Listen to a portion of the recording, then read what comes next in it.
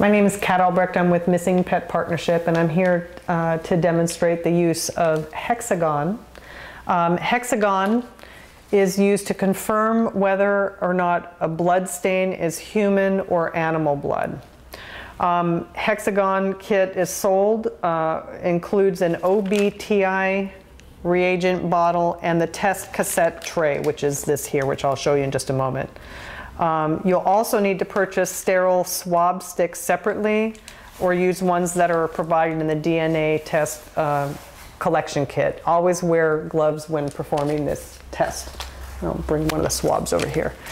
Um, the reason that we want uh, to talk about the utilization of hexagon is that this is a, a, tool that can be used that if you find a blood stain you uh, can determine whether or not it's human blood or animal blood.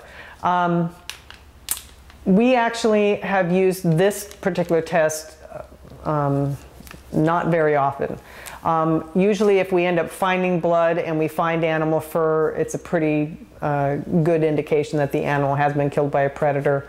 Um, but there may be occasions where you would want to use this and I'm going to demonstrate it and just show it so you know that this is available to you if you decide to purchase it.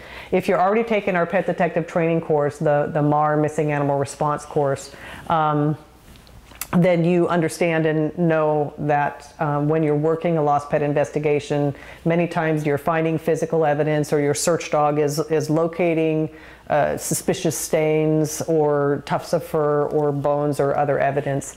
And that DNA testing or further uh, testing is um, something that you may be able to do to bring closure to the owner that's lost their pet. Um, and again, we're, we're here uh, earlier on one of the earlier videos we discovered as we were in here filming uh, and uh, talking about DNA testing and the use of luminol, I discovered that there are some blood spattered on this door. So it just so happens that we set up to film here. I looked over, saw blood stains.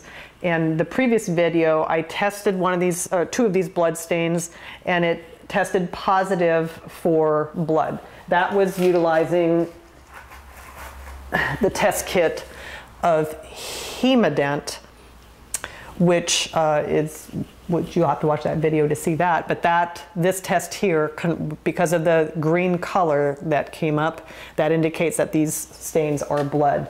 Now we get to find out if it's human blood or animal blood. And the reason that would be important to you on a case would be um, if you find a stain you want to make sure it's animal blood since you're looking for a missing animal. So the instructions on, uh, on to use hexagon are the first step is you unscrew the red cap from the OBTI reagent bottle, which has the collection stick attached. Okay, so basically it comes with this intact bottle and you open it up by unscrewing it. And it has liquid in the bottom and it has a stick here. The next step is that you use the collection stick, which is this, to collect the sample of the stain by running the stick across the stain. Since the collection stick is already damp, dry blood will adhere to the stick, thus distilled water is not needed. All right, so I'm basically, I'm, I'm just kind of re-wetting this stick. And then now I'm gonna take one of these stains and run Maybe I'll take two of the stains. I'll take one of the bigger stains up here. I'm going to run this stick. Doesn't take a whole lot of it, but I'm basically scraping blood because we've tested it with the other test and determined it is blood. Okay, and that's got the blood on the end of it. So use the collection stick to collect the sample stain by running the stick across it. Uh, I already read that. That sounds familiar. Hmm. Number three, replace the bottle cap on the bottle like this. Tighten down to prevent leakage and shake for five seconds. Snap off the tip of the red cap. Has a tip here. So that comes off and now it leaves a hole there. All right, now you're going to place the hexagon OBTI test cassette on a level surface. So let me first open that up. So here's the hexagon test kit. Some students have told me I wouldn't say it looks like a um, pregnancy test. All right, so you take the test, put it on a flat surface, maybe not one that's slanted on the edge of your evidence kit.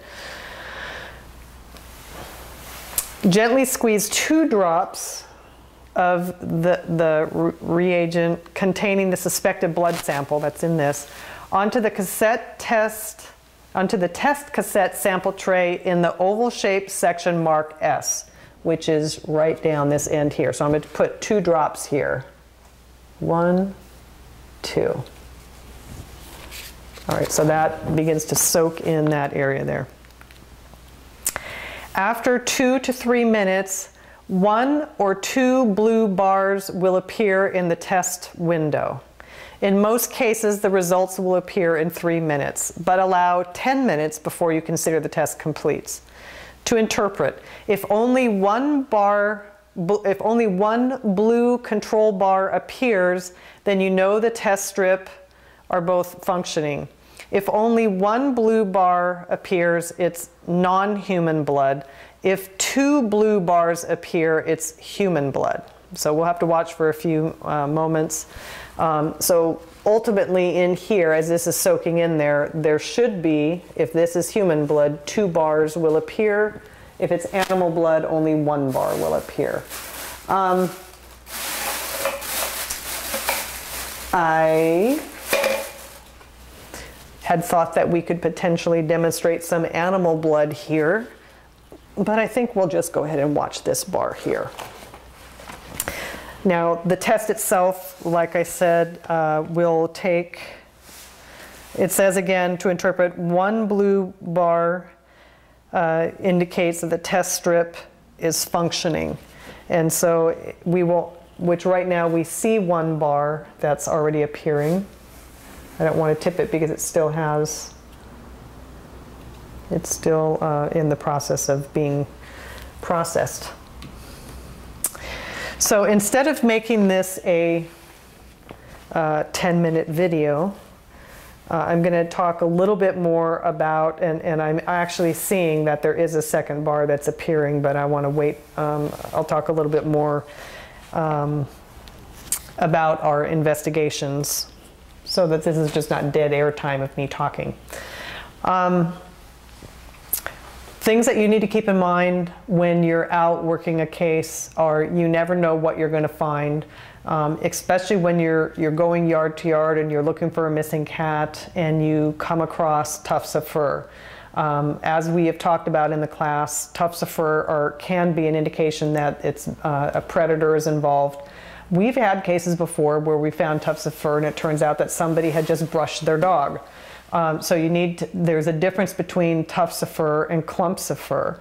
When a coyote um, or any type of a predator takes a cat, they're often, uh, after they kill it, they're taking mouthfuls of fur that they're pulling out and removing from the, uh, from the victim or the animal and, and they're spitting that on the ground. And that is the result of why you find tufts of fur on the ground.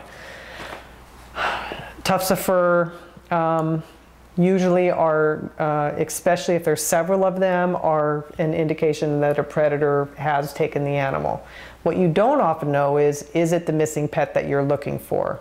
Um, it's very difficult, and especially when you have the pet owner with you, um, you need to um, be sensitive to the fact that this is probably an animal that they love. You need to be sensitive in, um, in, in describing to them their options of what they can do. Um, if the tufts of fur match the missing cat that you're looking for, you can explain to them this may or may not be your cat, um, but we can do further testing. There's a forensic fur examination that could be done. Uh, relatively inexpensive. I believe the test is under $100. That information, again, has, uh, is being provided to you in your training manual in our missing animal response course. Um, DNA testing could be performed, but again, with DNA testing, you need to have a control sample of the missing pet's DNA. So either you know a, a whisker, fur from the missing cat at home, Um, and then you would compare that with the fur, tufts of fur that you found out, uh, you know, wherever you find those tufts of fur. And you can send those off to a genetics lab. They can do a DNA test and then confirm that it was from the missing cat.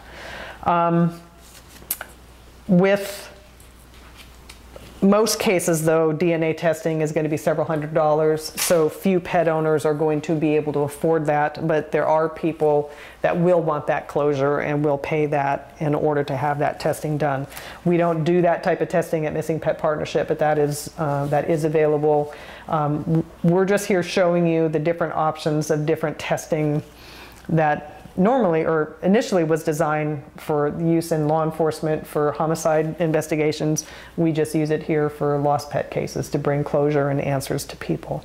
So if you are able to get um, in here closer, you can see that the testing here shows the one blue uh, line and the second blue line that is forming at the edge there. So it is an indication with the two bars that it is human blood. So somebody got injured, happened to spatter their blood right where we happened to set up the camera so I could show this, the actual testing of this.